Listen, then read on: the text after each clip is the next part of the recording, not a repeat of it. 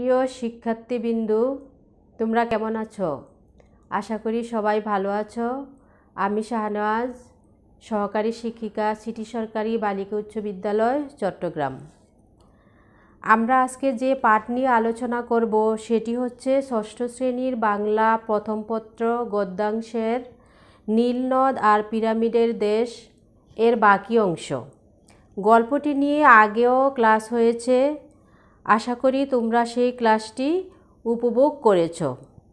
আমরা সর্বশেষ ক্লাসে নীলনদ আর পিরামিডের দেশ ও তার ভূমিকা এবং নীলনদের আলোচনা পর্যন্ত সীমাবদ্ধ ছিলাম। আজকে আমরা তার পরের অংশ থেকে শুরু করছি। Pyramid pyramid pyramid.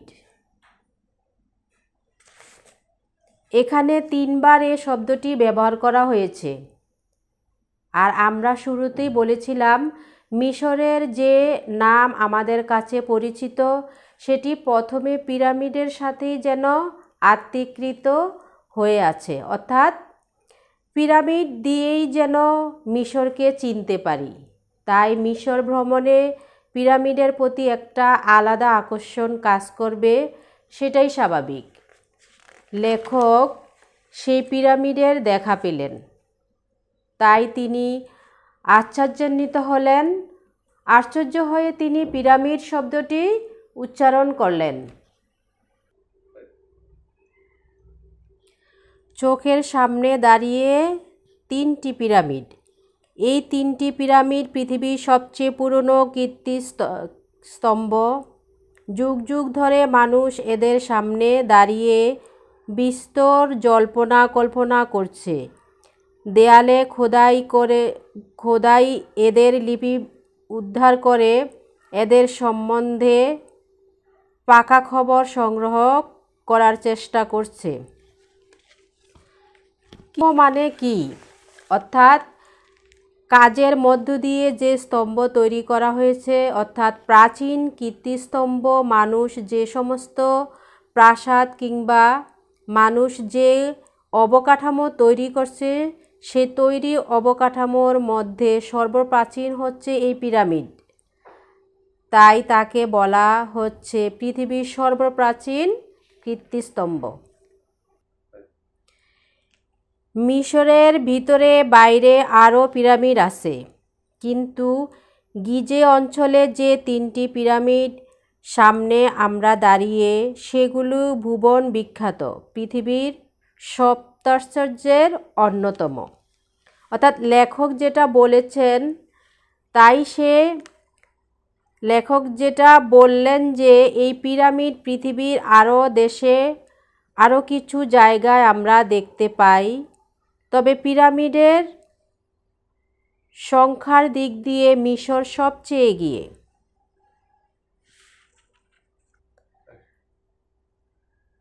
প্রায় পাঁচশো ফুট উঁচু বলে না দেখে চট করে পিরামিডের উচ্চতা সম্বন্ধে একটা ধারণা করা যায় না। এমনকি চোখের সামনে দেখেও ধারণা করা যায় না। এরা ঠিক কতখানি উঁচু? চ্যাপ্টা আকারের একটা পিরামিড জিনিস আস্তে বিরাট জিনিস আস্তে আস্তে ক্ষীণ হয়ে পাঁচশো ফুট উঁচু না হয়ে যদি চোঙ্গার মতো একই সাইজ রেখে উঁচু হতো, তবে চ্যাপটা বোঝা যেত পাঁচশো ফুটের উচ্চতা কতখানি উঁচু। বোঝা যায় দূরে চলে গেলে, গিজে এবং কায়রো ছেড়ে বহু দূরে চলে যাওয়ার পর হঠাৎ চোখে পড়ে তিনটি পিরামিড। সব কিছু ছাড়িয়ে মাথা উঁচু করে দাঁড়িয়ে তাই বোঝা যায়, এই বস্তু তৈরি করতে যেন তেইশ লক্ষ টুকরো পাথরের প্রয়োজন হয়েছিল। টুকরো বলতে একটি, একটু কমিয়ে বলা হলো, কারণ এর চার পাঁচ টুকরো একত্রে করলে একখানা ছোট ছোট ইঞ্জিন, ছোটোখাটো ইঞ্জিন, ইঞ্জিনের সাইজ এবং ওজন হয়, কিংবা বলতে পারো ছয় ছ ফুট উঁচু এবং তিন ফুট চওড়া করে এ পাথর দিয়ে একটা দেয়াল বানালে সে দেয়াল লম্বায় ছয় ছশো পঞ্চাশ মাইল হবে। লেখক বলতে চেয়েছেন, পিরামিডের যে উচ্চতা আমরা স্বাভাবিক দৃষ্টিতে দেখতে পাই, সেটা আসলে তার প্রকৃত উচ্চতা নয়। কি কারণে? কারণ হচ্ছে পিরামিডের পাথরগুলো, এটা ডালু হতে হতে শীর্ষে প্রবেশ করেছে। অর্থাৎ শীর্ষের যে পাথর, এই কারণে অল্প দূরত্বে বলে মনে হয়। কিন্তু বিষয়টি যদি সোজা পাথরের উপর স্থাপন করা হতো, অর্থাৎ পাথরের পরে পাথর স্থাপন করা হতো সোজা করে, তাহলে পিরামিডের উচ্চতা অনেক অনেক বেশি একেবারে দেখা সম্ভব হতো না। সবচেয়ে বড় পিরামিডটা বানাতে নাকি এক লক্ষ লোকের বিশ বছর লেগেছিল। ফারাওরা বিশ্বাস করতেন তাদের শরীর যদি মৃত্যুর পর পচে যায় কিংবা কোনো প্রকারের আঘাতে ক্ষত হয়, তবে তারা পরলোক, পরলোকে অনন্ত জীবন পাবেন না। তাই মৃত্যুর পর দেহকে মমি বানিয়ে সেটাকে এমন একটা শক্ত পিরামিডের ভিতর রাখা হতো যে তার ভিতরে ঢুকে কেউ যেন মমিকে ছুতে পর্যন্ত না পারে। নিদ্রিতের চোখে, এখন যে বর্ণনা লেখক শুরু করলেন সেটি সকালের অর্থাৎ একদিকে চন্দ্র অস্ত যাচ্ছে আর অন্যদিকে সূর্য উদিত হচ্ছে। রাস্তা ক্রমেই সরু হয়ে আসছে। রাস্তার দুদিকে দোকানপাট এখনও বন্ধ। দু একটা কপির দোকান খুলি খুলি করছে। ফুটপাতে লোহার চেহারের চেয়ারের উপর পদ্মাসনে বসে দু চারটি সুদানি দারোয়ান তবজি জপছে। খবরের কাগজগুলোর দোকানের সামনে অল্প একটু ভিড়। অর্থাৎ সকালবেলাটা যে যেভাবে হয়ে থাকে আর কি। ধর্মী ধার্মিকেরা তাদের নামাজের পর হয়তো তবজি জপছে, আবার একদিকে কপি দোকানগুলো খুলছে মাত্র। আবার সংবাদপত্রের লোকজন দোকানগুলোতে বোর থেকেই কাজ শুরু করছে, তারা সবার আগেই খুলছে। তরল অন্ধকার সরল আলোর জন্য ক্রমেই জায়গা করে দিচ্ছে। আদো ঘুমে, আদো জাগরণে জড়ানো হয়ে সব কিছুই যেন কিছু কিছু দেখা হলো। সবচেয়ে সুন্দর দেখাচ্ছিল মসজিদের মিনারগুলোকে। এদের বহু মিনার দাঁড়িয়ে আছে আল্লাহর নামাজের ঘর মসজিদের উপর।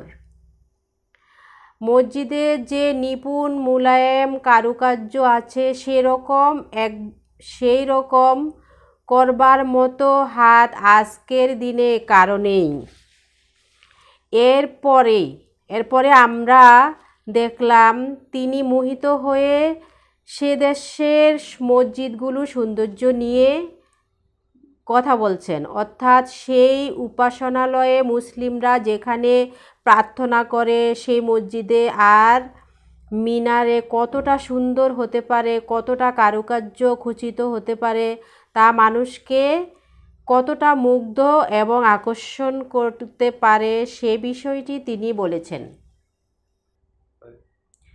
প্রকৃতির গড়া নীল আর মানুষের গড়া পিরামিডের পরেই মিশরের মসজিদ ভুবন বিখ্যাত এবং সৌন্দর্যে অতুলনীয়। পৃথিবীর বহু সমঝোদা শুধু এই মসজিদগুলোকেই প্রাণ ভরে দেখবার জন্য সাত সমুদ্র তেরো নদী ফেরিয়ে কায়রোতে আসেন।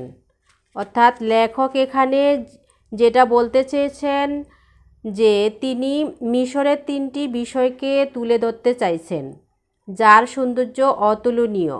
এবং যার সৌন্দর্যে সারা পৃথিবী থেকে মানুষজন মিশরে এসে থাকে। তা কি? এটা হচ্ছে প্রাকৃতিক প্রকৃতির সৌন্দর্য নীলনদ দ্বিতীয়ত হচ্ছে মানুষের তৈরি পিরামিড ও মসজিদ।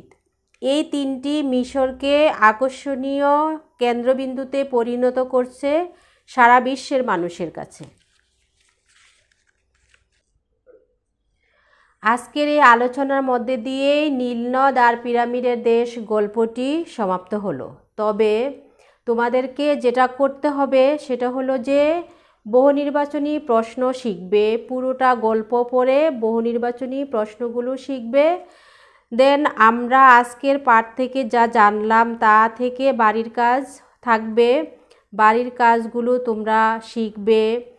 আমাদের সিটি সরকারি বালিকা উচ্চ বিদ্যালয়ের ফেসবুক পেজে সেটা লিখে দিবে, উত্তরগুলো লিখে দিবে তোমরা। যেমন, ফারাওরা কেন পিরামিড তৈরি করত? হুম, যেমন জ্ঞানমূলক প্রশ্নগুলো তোমরা এক নাম্বারে এক নাম্বারে করতে থাকবে, জ্ঞানমূলক প্রশ্ন, সেটার নাম্বার থাকবে এক। এটা শুধু এক কথায় লিখবে এবং সেটা নাম্বার এক। আর দুই নাম্বারের খতে দুই নাম্বারের প্রশ্ন সেটা লিখে, এমনভাবে লিখবে যাতে দুই নাম্বারের প্রশ্নের উত্তরটি অতটুকু লিখতে পারো তোমরা। ফারাওরা কেন পিরামিড তৈরি করত? দুই নাম্বারের প্রশ্ন তোমার নিজের মতো করে লিখবে। তারপরে তিন নাম্বারের প্রশ্ন, চার নাম্বারের প্রশ্ন, তোমাদের পাঠ্য বইয়ের নমুনা, সৃজনশীল প্রশ্নের যে কোনো একটির উত্তর পঁচিশ মিনিট সময়ের মধ্যে তৈরি করবে। এইভাবে করে শিখবে। প্রশ্নের উত্তরগুলো দশ নম্বরের প্রশ্ন, এক নম্বরের প্রশ্ন, এক, দুই নম্বরের প্রশ্ন, দুই, তিন নম্বরের প্রশ্নের উত্তর, তিন, চার নম্বরের প্রশ্নের নাম্বার থাকবে চার। এভাবে দশ নম্বরের প্রশ্ন দিয়ে একটা প্রশ্ন তৈরি করে উত্তরগুলা লিখে আমাদের ফেসবুক পেজে সিটি সরকারি বালিকা উচ্চ বিদ্যালয়ের যে ফেসবুক পেজ ওখানে লিখে পাঠাবে। আজকের মতো এখানেই। ধন্যবাদ।